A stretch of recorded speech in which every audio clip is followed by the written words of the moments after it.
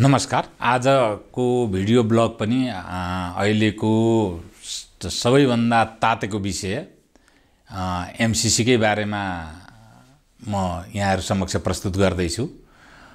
धेरै अब अगाडिदेखि एमसिसीको बारेमा साह्रै धेरै बोलियो। काहीँ अलिकति चर्केर पनि बोलियो। खास गरिकन यसलाई लिएर नेपालका केही शीर्षस्थ नेताहरूको जस्तो प्रकारको जो राजनैतिक चरित्र देखियो त्यसको त्यो प्रतिक्रिया पनि थियो एक किसिमले। र धेरै पहिलेदेखि यसका विषयवस्तुलाई लिएर यसको पोलिटिकल डाइमेन्सन अथवा राजनीतिक पक्षलाई लिएर यसको भू राजनीतिको पक्षलाई लिएर यसको अन्तर्राष्ट्रिय आयामलाई लिएर यसको चाहिँ हामीहरूको दात्री निकाय र यसले हाम्रा चाहिँ कर्जा प्रदायक निकायहरूसित हुने सम्बन्धलाई लिएर र अन्तर्राष्ट्रिय राजनीतिमा यसको के प्रभाव पर्न सक्छ भन्ने विषयलाई लिएर पनि मैले धेरै बोलेँ। आज चाहिँ भर्खरै अहिले जुन प्रकारको संसदमा हिजो यसलाई टेबल गरिरहँदाखेरि जस्तो प्रकारको बाह्य वातावरण निर्माण भयो र नेपालका दुईवटा कम्युनिस्ट पार्टीहरूले जुन प्रकारको व्यवहार राजनीतिक व्यवहार देखाए र राजनीतिक चरित्र देखाए र यसको र त्यसको अब नेपालको राजनीतिमा पर्ने प्रभाव र यसलाई प्रधानमन्त्रीले उपरान्त लिनुपर्ने नीति र रणनीति र नेपालको उपरान्तको राजनीतिको बारेमा संक्षेपमा केही विश्लेषण राख्ने कोसिस गर्दछु यहाँहरू समक्ष। पहिलो चाहिँ यो सभामुखले यसलाई टेबल गर्नुहुन्छ भन्ने कुरामा धेरै ठुलो संशय थियो र सभामुखले जुन अराजनीतिक कुरा गर्नुपर्नेमा जुन प्रकारको भद्दा राजनीति गरिराख्नु भएको थियो त्यसको मैले मुखर रूपमा आलोचना गरेको थिएँ। तर अब नैतिक दबावको चाहिँ म त अगाडि सभामुखलाई टिक्न गाह्रो भयो र राजनीतिक र नैतिक दबाव को कारणले चाहिँ जुन माओवादीमा पनि त्यो दबाब भयो र प्रधानमन्त्रीले जुन एउटा सफल राजनैतिक मुभ यो मार्सल आर्टमा मुभ भनेर भन्छ मुभको बहुतै महत्त्व हुन्छ। एउटा मात्रै सफल मुभ भयो भने गेम जितिन्छ। बडो चाहिँ त सफल मुभ गर्नुभयो। त्यसको चाहिँ परिणामस्वरूप सभामुख यसलाई संसद को संसदमा चाहिँ टेबल गर्नलाई राजी हुनुभयो र यो संसदमा अब प्रवेश गरेको छ। होइन भने प्रधानमन्त्रीलाई कस्तो अप्ठ्यारो थियो भने सभामुखलाई हटाउनका लागि नेकपा एमाले र काङ्ग्रेस र अहिलेको जुन लोसपा र जसपा सबै र को परिस्थिति हेर्दाखेरि पनि सभामुखलाई महाभियोग लाउन पनि नसक्ने सभामुखलाई महाभियोग लाएर हटाउन सक्ने प्रकारको गणितको निश्चय निश्चितता पनि नभएको अवस्था सभामुखलाई नहटाइकन एमसिसी पनि अगाडि नबढ्ने र अरू एमालेसितको विश्वसनीय अवस्था पनि निर्माण नहुने स्थिति थियो। तर त्यसलाई चिरेर प्रधानमन्त्रीले जुन राजनीति गर्नुभयो यहाँ यो धेरै नै सफल राजनीति हो। त्यस कारण बढी बोलेर असफल हुनुभन्दा बो कम बोलेर सफल हुनु चाहिँ राजनीतिज्ञको पहिचान हो। एकदमै राम्रो चाहिँ मतलब उहाँले राजनीतिक मुभ गर्नुभएको छ र यो संसदमा गएको छ। अब सभामुखको हातमा चाहिँ त्यति ठुलो भूमिका रहेन सभामुखले यसलाई रोक्न सक्ने अवस्था रहेन। तर यो संसदमा टेबल भइराख्दाखेरि जुन एकीकृत समाजवादी र र माओवादी केन्द्रको जुन हरकत देखियो यो संसारको प्रजातान्त्रिक र अझ संसदीय प्रजातान्त्रिक अभ्यासमा सबैभन्दा यो चाहिँ कालो कर्तुत हो। यस्तो प्रकारको कर्तुत गर्नेलाई पनि प्रधानमन्त्रीले अहिलेसम्म सहेर बस्नुभएको छ। यो चाहिँ मलाई विचित्रको विषय लागेको छ। हुन त उहाँले अब सहनशीलै भएर अहिले टेबल पनि गर्न सक्षम हुनुभयो। तर प्रचण्डजी र माधव नेपालजीले जुन हरकत गर्नुभयो प्रचण्डजी आफू मुसु मुसु हाँसेर हाँस्ने टेबल गर्नुपर्छ भन्ने टेबलै गर्दा विरोध किन गर्नु पर्यो? भोलि यो पार्लियामेन्टको बिजनेस भइसकेपछि पार्लियामेन्टमा हामीहरू अपोजिसनमा जान्छौँ प्रधानमन्त्रीको यो प्रस्ताव भएको हुनाले हामी सरकार छोड्छौँ भन्ने कि?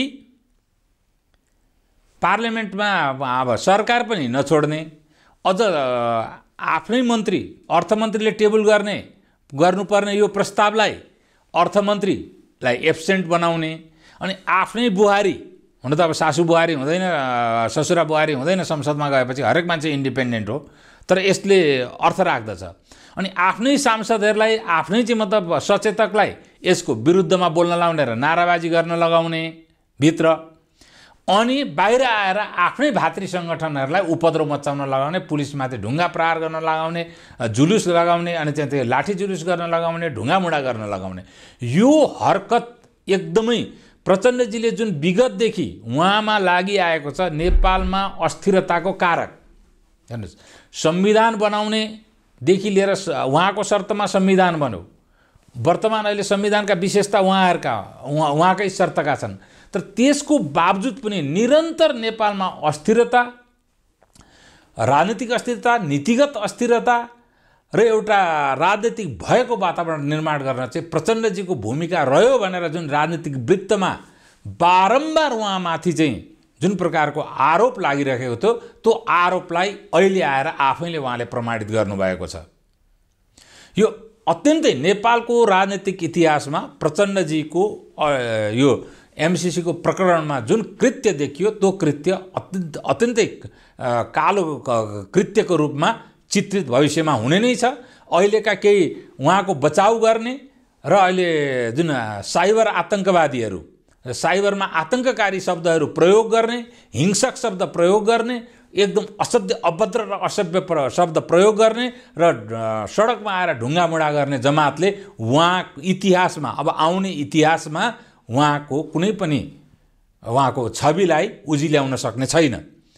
यो अत्यन्तै खराब काम गर्नुभयो र त्यस्तै गरेर एकीकृत समाजवादीमा पनि माधव नेपालजीको जुन एउटा ढुलमुले नीति आयो र सँगसँगै झलनाथजीको जुन प्रकारको अभिव्यक्ति आयो तर त्यसका बावजुद पनि जुन एकीकृत समाजवादीले चाहिँ अब लामो समयसम्म एमालेमा प्रजातान्त्रिक अभ्यास गरेको सायद संस्कारले हो अथवा उहाँहरूको चाहिँ बहुदलीय संसदीय प्रजातन्त्र पार्टीको प्रतिको बढी प्रतिबद्धताले हो केही मन्त्रीहरूले चाहिँ प्रधानमन्त्रीको प्रस्ताव नै हाम्रो प्रस्ताव हो भन्ने सम्मको पनि कुरा गर्नुभयो। तर वरिष्ठ नेता झलनाथ खनालको चाहिँ त हामीले अभिव्यक्ति देखिसक्यौँ।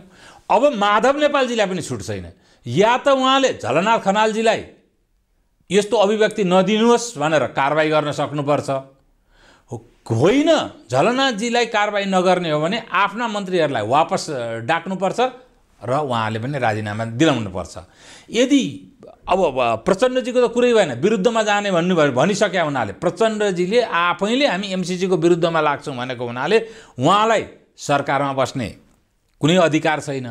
तर उहाँहरूले यो नैतिक जिम्मेवारी कहिले पुरा गर्नुहुन्न? पहिले पनि शेरबहादुरजीको सरकारमा बसेर केपी ओलीसित एमआ तत्कालीन एमालेसित चाहिँ एलायन्स गर्नुभयो उहाँहरूले निर्वाचनमा गठबन्धन बनाउनु भयो त्यो गठबन्धन बनाउँदाखेरि चाहिँ क्याबिनेटबाट राजीनामा गर्नु भएन। प्रधानमन्त्रीले सबैलाई बिना विभागीय मन्त्री बनाउँदाखेरि पनि आचार संहिताले फ्याल्न सक्नुहुन्न त्यो प्रधानमन्त्री। शेरबहादुरजीले सबै प्रधानमन्त्री शेरबहादुरजीले सबैलाई बिना विभागीय मन्त्री बनाउँदाखेरि पनि झन्डा हालेर गाड लिएर उहाँहरूले हिँड्न छाड्नु भएन। यो हदैसम्मको राजनीतिक लवस्तरोपन पहिले पनि देखाइसक्या हो। अहिले पनि यो हेर्नुहोस् प्रधानमन्त्रीको प्रस्तावसित सहमत छैन भन्ने अनि आफूलाई आफ्ना मन्त्रीहरू राखिराख्ने राजनीतिक लवस्तरोपन अहिले पनि कायम राख्नु भएको छ उहाँ।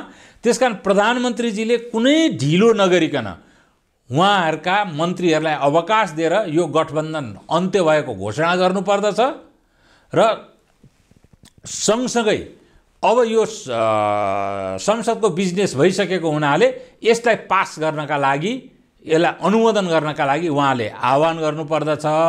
अहिले योभन्दा अर्को मार्ग छैन। मलाई अब फेरि अब अब प्रधानमन्त्रीजीलाई के आपत्ति पनि छैन। सभामुखले रोक्न सक्ने अवस्था छैन।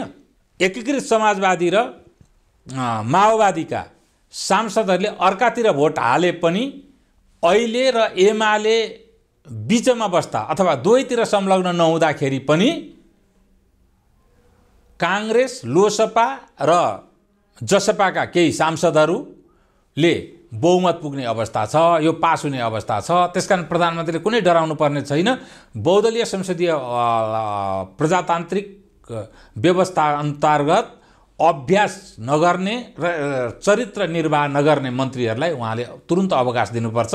यो एमसिसीलाई लिएर र अहिले संसदमा र सडकमा भएको गरिएको नेकपा एकीकृत समाजवादी र माओवादी केन्द्रका को चरित्रको बारेमा मैले यति मात्रै यहाँहरू समक्ष राखेँ।